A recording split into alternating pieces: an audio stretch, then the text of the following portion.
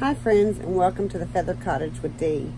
Today we are reading chapter 15 of Battlefield of the Mind by Joyce Meyer. And I'm going to tell you, friends, Satan messed with me so hard in trying to read this. Uh, this has been a real struggle to get this video made, and I'm only doing half the chapter. Um, this chapter is a very long chapter, and where I end, there's still seven pages left to read.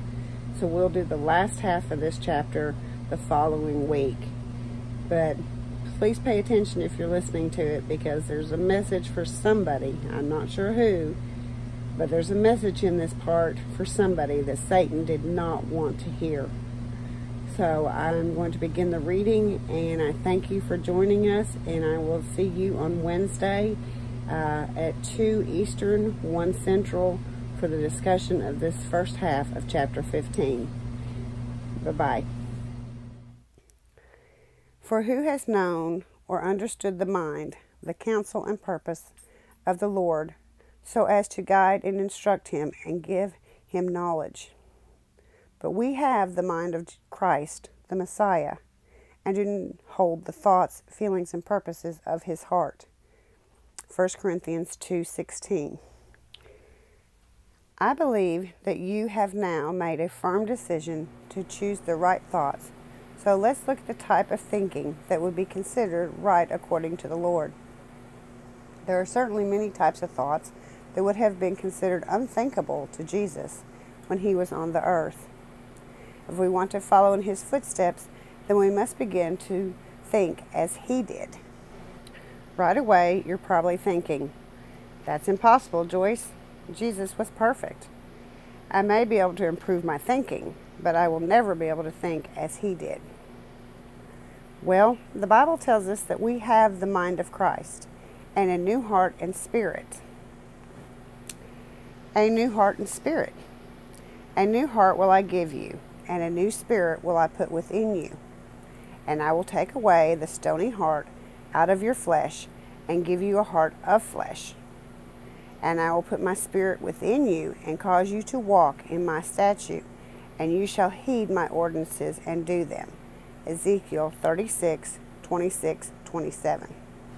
As Christians, you and I have a new nature, which is actually the nature of God, deposited in us at the new birth.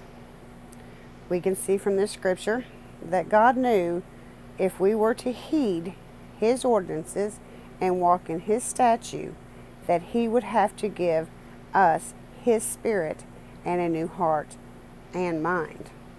Romans 8 6 speaks of the mind and the flesh and tells us that death is a result of following mind of the flesh and life is the result of following the mind of the spirit. We would make tremendous progress simply by learning how to discern life and death. If something is ministering death to you, don't do it any longer.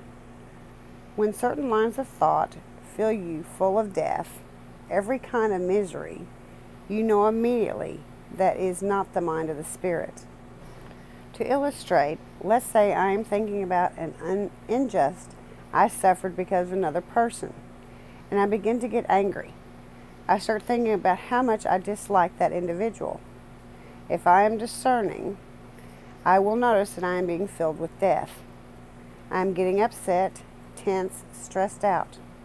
I may even be experiencing physical discomfort. Headache, stomach pain, or undue fatigue may be the fruit of my wrong thinking. On the other hand, if I am thinking how blessed I am, how good God has been to me, I will also discern that I am being filled with life. It is very helpful to a believer to learn to discern life and death within himself. Jesus has made arrangements for us to be filled with life by putting his own mind in us. We can choose to flow in the mind of Christ. In the following pages of this chapter is a list of things to do in order to flow in the mind of Christ. Step 1 Think positive thoughts. Do two walk together except they make an appointment and have agreed? Amos 3 3.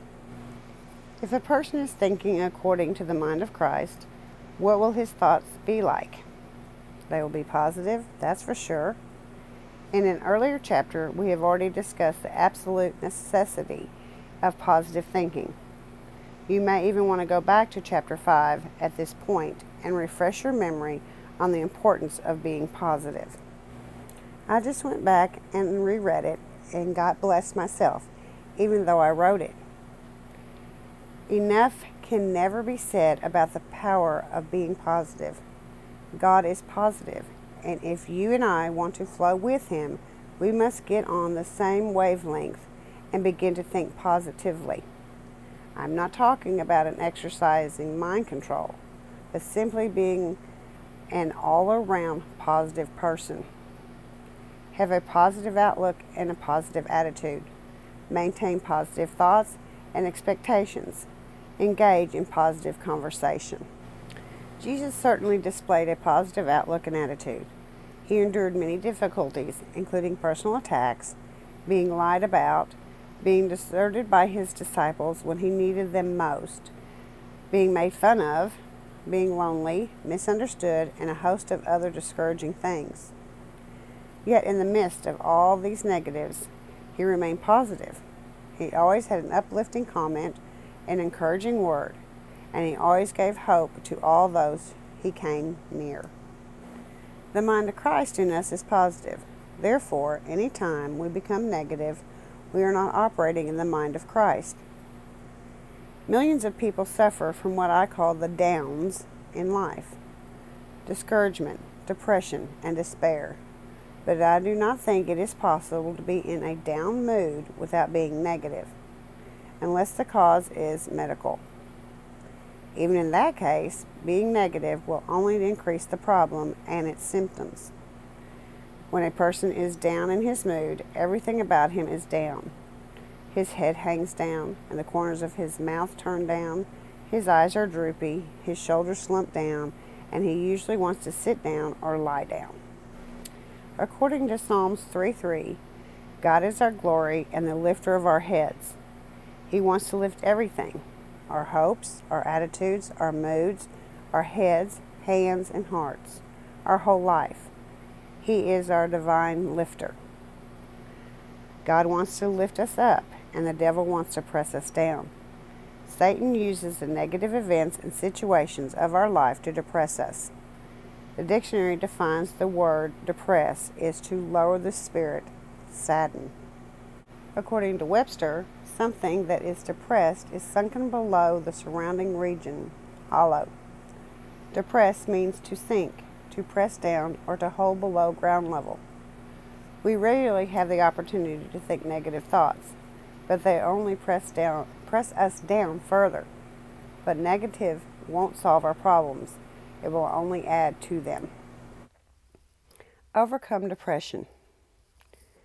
Psalms 143, 3 through 10, gives a description of depression and how to overcome it. Let's look at this passage in detail to see the steps we can take to overcome this attack of the enemy. 1. Identify the nature and cause of the problem. For the enemy has pursued and persecuted my soul. He has crushed my life down to the ground. He has made me to dwell in dark places as those who have been long dead. Psalms 143 3. Dwelling in dark places as one who is long dead certainly sounds to me like a description of someone who is as down as he can be. Notice that the cause or source of this depression, this attack upon the soul, is Satan. Number two, recognize the depression steals life and light. Therefore is my spirit overwhelmed and faint within me, wrapped in gloom.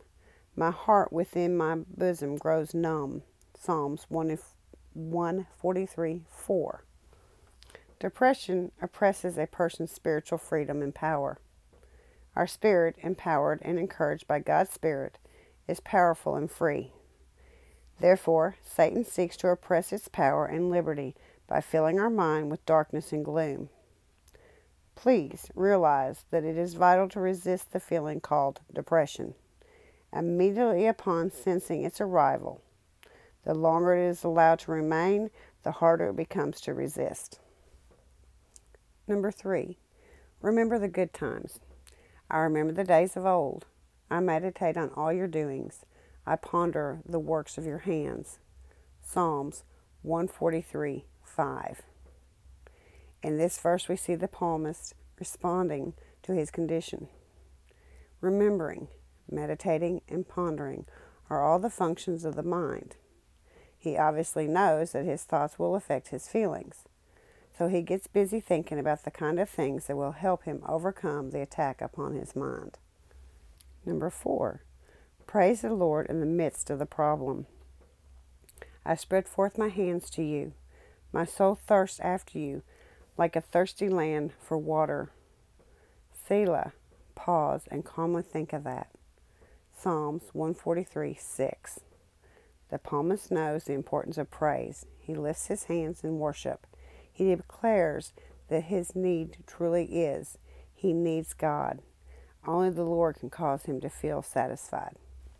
Far too often, when people get depressed, it is because they are in the need of something, and they seek it in the wrong places, which only adds to their problems. In Jeremiah 2:13, the Lord said, "For my people have committed two evils. They have forsaken me, the fountain of living water, and they have hewn for themselves cisterns, broken cisterns which cannot hold water. God alone can water a thirsty soul. Do not be deceived into thinking that anything else can satisfy you fully and completely. Chasing after the wrong things will always leave you disappointed, and disappointment opens the door for depression. Number five, Ask for God's help. Answer me speedily, O Lord, for my spirit fails. Hide not your face from me, lest I become like those who go down into the pit, the grave. Psalms 143 7. The psalmist asks for help. He's basically saying, Hurry up, God, because I'm not going to be able to hold on very much longer without you. Number six, listen to the Lord. Cause me to hear your loving kindness in the morning, for on you do I lean, and you I do trust. Cause me to know the way within I should walk, for I lift up my inner self to you. Psalms 143 8. The psalmist knows that he needs to hear from God. He needs to be assured of God's love and kindness. He needs God's attention and direction. Number seven, pray for deliverance. Deliver me, O Lord, from my enemies. I flee to you to hide me. Psalms 143 9. Once again, the psalmist is declaring that it is only God who can help him. Please notice that throughout this discourse, he is keeping his mind on God, not on the problem. Number eight, seek God's wisdom, knowledge, and leadership. Teach me to do your will, for you are my God. Let your good spirit lead me into the level country, into the land of uprightness. Psalms 143:10. Perhaps the psalmist has indicated that he has gotten out of the will of God and thus opened the door for an attack on his soul. He wants to be in God's will, for he now realizes that it is the only safe place to be. Then he requests that God help him to be stable. I believe his phrase, God lead me to level country, refers to his unsettled emotions. He wants to be level, not up and down. Use your weapons, for the weapons of our warfare are not physical weapons of flesh and blood, but they are mighty before God for the overthrow and the destruction of strongholds.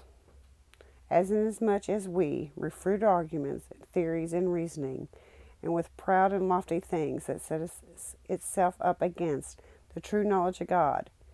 And we lead every thought and purpose away captive into the obedience of Christ the Messiah, the Anointed One. 2 Corinthians 10 4 and 5. Satan uses depression and all other downs in life to drag millions into the pit of darkness and despair.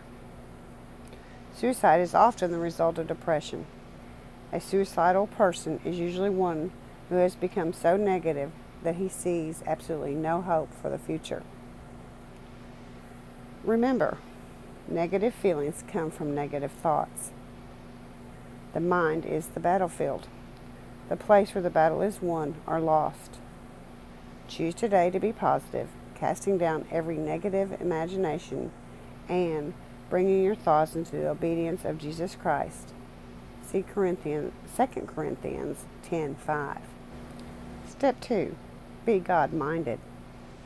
You will guard him and keep him in perfect and constant peace, whose mind, both in inclination and its character, is stayed on you, because he commits himself to you, leans on you, and hopes confidently in you. Isaiah 26:3. Jesus had a continual fellowship with his Heavenly Father. It is impossible to have full fellowship with anyone without having your mind on that individual. If my husband and I are in the car together and he is talking to me, but I have my mind on something else, we're not really fellowshipping because I did not give him my full attention. Therefore, I believe we can safely say that the thoughts of a person functioning in the mind of Christ will be on God and on all his mighty work. Meditate on God and his works. My whole being shall be satisfied, as with marrow and fatness, and my mouth shall praise you with joyful lips. When I remember you upon my bed and meditate on you in my night watch. Psalm 63, 5, 6. I will meditate also upon all your works and consider all your mighty deeds. Psalms 77, 12. I will meditate on your precepts and have respect to your ways, the path of life marked out by your law. Psalms 119, 15. I remember the days of old. I will meditate on all your doings. I will ponder the works of your hands. Psalms 143, 5. The psalmist David spoke frequently about meditating on God, His goodness and His works and ways. It is tremendously uplifting to think of the goodness of God and all the marvelous works of His hands. I enjoy watching television shows about nature, animals, ocean life, etc., because they depict the greatness and the awesomeness of God, in His infinite capacity, and how He is upholding all things by the might of His power. See Hebrews 1 3. Meditating on God and His ways and His works will need to become a regular part of your thought life if you want to experience victory. One of my favorite verses of Scripture is Psalm 17:15, in which the psalmist says to the Lord, I shall be fully satisfied when I wake to find myself beholding your form and I have sweet communion with you. I spent a lot of unhappy days because I started thinking about all the wrong things the minute I woke up each morning. I can truly say that I am much more satisfied since the Holy Spirit has helped me operate out of the mind of Christ, the mind of the Spirit that is, in, that is within me. Fellowship with God early in the morning is one sure way to start each day right and to begin enjoying life. Fellowship with the Lord. If I do not go away, the Comforter, Counselor, Helper, Advocate, Intercessor, Strengthener, Standby, will not come to you into close fellowship with you. But if I go away, I will send him to you to be in close fellowship with you. John 16:7. These words were spoken by Jesus just before he departed into heaven, where he is seated at the right hand of the Father in glory. It is obvious from this scripture that it is God's will that we be in close fellowship with him.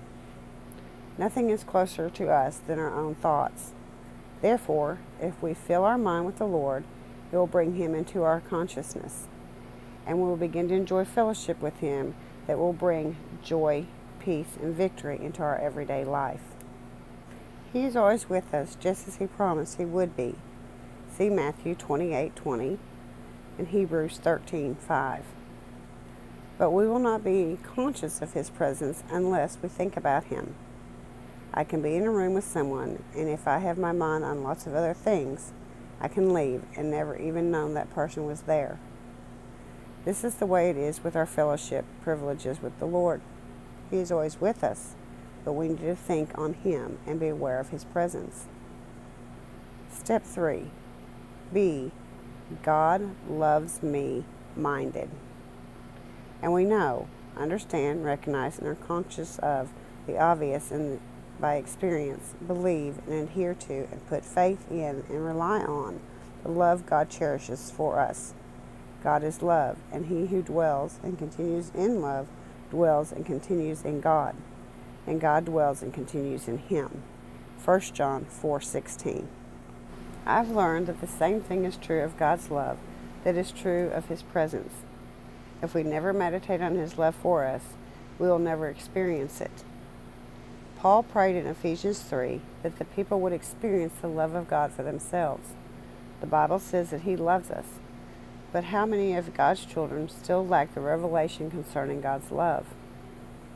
I remember when I began my ministry, the first week I was to conduct a meeting. I asked the Lord what He wanted me to teach, and He responded, Tell my people that I love them. They all know that, I said. I want to teach them something really powerful, not a Sunday school lesson out of John 3.16. The Lord said to me, Very few of my people really know how much I love them. If they did, they would act differently. As I began to study the subject of receiving God's love, I realized that I was in desperate need myself. The Lord led me in my study to 1 John 4:16, which states that we would be conscious of God's love. That means it should be something we are actively aware of. I had been unconscious, vague sort of understanding that God loved me. But the love of God is meant to be powerful force in our lives, one that will take us through even the most difficult trials into victory. In Romans 8:35, the apostle Paul exhorts us, who shall ever separate us from Christ's love? Shall suffering or affliction or tribulation or calamity or distress or persecution or hunger or disillusion or peril of sword? Then in verse 37 he goes on to say, Yet, aimed at all these, we are more than conquerors and gain a surpassing victory through him who loves us. I studied this area for a long time and I became conscious and aware of God's love for me through thinking about His love and by confessing it out loud. I learned scripture about the love of God, and I meditated on them and confessed them out of my mouth. I did this over and over for months, and all the time the revelation of His unconditional love for me was becoming more and more of a reality to me. Now, His love is so real to me that even in hard times, I am comforted by the conscious knowing that He loves me and that I no longer have to live in fear. Fear not. There is no fear in love, but perfect love casts out fear. 1 John 4:18. God loves us perfectly, just as we are. Romans 5:8 tells us that God commandeth his love towards us in that while we were still sinners Christ died for us. Believers operating of the mind of Christ are not going to think about how terrible they are. They will have righteous based thoughts. They should have righteous conscience, meditating regularly on who you are in Christ. We do not have the right standing with God because we do everything right, but because He gave us right standing as a gift of His grace. When received by faith, the gift of righteousness will become will begin to produce more and more right behavior. Be righteousness conscious, not sin conscious. For our sake he made Christ virtually to be sin, who knew no sin, so that in and through him we might become endured with viewed as being in and examples of the righteousness of God, what we ought to be, approved and acceptable and in right relationship with him by his goodness. 2 Corinthians 5:21. A large number of believers are tormented by negative thinking about themselves. Thoughts about how God must be so displeased with them because of all their weakness and failures. How much time do you waste living under guilt and condemnation? Notice I said, how much time do you waste? Because that is exactly what all kinds of things I want to reread that. I'm so sorry I got choked. It says, How much time do you waste living under guilt and condemnation? Notice I said, How much time do you waste? Because that is exactly what all that kind of thinking is a waste of time. Friends, I want to stop here for a second and tell you whatever is being read to you right now must have some type of major importance because Satan has tried and tried and tried to keep me from reading this page to you. I have now re recorded this five times, and for some reason, I keep having to re record. So if I get the rest of it out, please pay attention to it because it's something Satan is not wanting us to hear. She continues Don't think about how terrible you were before you came to Christ. Instead, think about how you've been made the righteousness of God in Him. Remember, thoughts turn into actions. If you ever want to behave any better, you have to change your thinking first. Keep thinking how terrible you are, and you will only act worse. Every time a negative, condemning thought comes to your mind, remind yourself that God loves you, that you have been made the righteousness of God in Christ. That was the paragraph I have reread five times. So, somewhere in that message is for somebody listening. Please, please remember what it just said. She continues You are changing for the better all the time. Every day you're growing spiritually. God has a glorious plan for your life. These are the truths you must think on. This is what you are supposed to be doing with your mind. Think deliberately according to the Word of God. Don't just think whatever falls into your head, receiving it as your own thoughts. Rebuke the devil and start going forward by thinking right thoughts. Step 4 Have an exhortive mind. He who exhorts encourages to his exhortation. Romans 12 8. The person with the mind of Christ thinks positive, uplifting, edifying thoughts about other people as well about himself and his own circumstance. The ministry of exhortation is greatly needed in the world today. You will never extort anyone with your words if you have not first had kind thoughts about that individual. Remember that whatever is in your heart will come out of your mouth. Do some love thinking on purpose. Send thoughts of love toward other people. Speak words of encouragement to them. Vine's Expository Dictionary of Old and New Testament Words defines the Greek word parakaleo, which is translated exhort, as primarily to call a person to admonish, exhort, or to urge one to pursue some course of conduct. I interpret this definition to mean coming alongside a person and urging him to press forward in pursuing a course of action. The ministerial gift of exhortation spoken in Romans 12:8 can readily be seen in those who have it. They are always saying something encouraging or uplifting to everyone, something that makes others feel better and encourages them to press on. We may not all have the ministry gift of exhortation, but anyone can learn to be encouraging. The simple rule is if it is not good, then don't think it or say it. Everyone has enough problems already. We don't need to add to their troubles by tearing them down. We should build up one another in love. Ephesians 4:29. Don't forget, love always believes the best in everyone.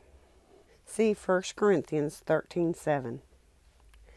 As you begin to think lovely thoughts about people, you will find them behaving in a more lovely manner. Thoughts and words are containers or weapons for carrying creative and destructive power. They can be used against Satan and his works, or they can actually help him in his plan of destruction. Let's say that you have a child who has some behavior problems and definitely needs to change. You pray for him and ask God to work in his life, making whatever changes are necessary. Now, what do you do with your thoughts and words concerning him during the waiting period? Many people never see the answer to their prayers because they navigate what they have asked for with their own thoughts and words before God ever gets a chance to work on their behalf. Do you pray for your child to change and then entertain all kinds of negative thoughts about him? Or perhaps pray for change and then think and even say to others, This kid will never change. To live in victory, you must begin to line up your thoughts with God's Word. We are not walking in the Word if our thoughts are opposed to what it says. We are not walking in the Word if we are not thinking in the Word. When you pray for someone, line up your thoughts and words with what you have prayed, and you will begin to see a breakthrough. I'm not suggesting that you get out of balance and refuse to acknowledge that their problem exists. If your child has a behavior problem in school and a friend asks how he's doing, what should you do if, in reality, no change has been manifest? You can say, Well, we have not seen the breakthrough yet, but I believe God is working and we will see change soon. Step 5 Develop a thankful mind. Enter into his gates with thanksgiving and a thank offering, and into his courts with praise. Be thankful and say so to him. Bless and affectionately praise his name. Psalms 104. A person flowing in the mind of Christ will find his thoughts filled with praise and thanksgiving. Many doors are open to the enemy through complaining. Some people are physically ill and live weak, powerless lives due to the disease called complaining that attacks the thoughts and conversations of people. A powerful life cannot be lived without thanksgiving. the Bible instructs us over and over in the principles of thanksgiving. Complaining in thought or word is the death of principle but being thankful and saying so is a life of principle. If a person does not have a thankful heart, mind, thanksgiving will not come out of his mouth. But when we are thankful, we will say so. Friends, I'm going to break this chapter into two parts. I have already read several pages and there are still seven to go. So we're going to break this into two, th- two parts and we will continue the second half of it next week. Why, thank you for sticking around if you have to the end of what I've done so far. And I appreciate all your love and support. Um, this is a message Satan is really trying to keep us from receiving. Uh, it just blows my mind how much he tries to mess with it. Well, I'm going to tell you all to have a blessed week, and I will see you Wednesday at 2 Eastern, 1 Central uh, for the live, and we'll discuss the first half of chapter 15. Y'all have a great and blessed day. Talk to you later. Bye.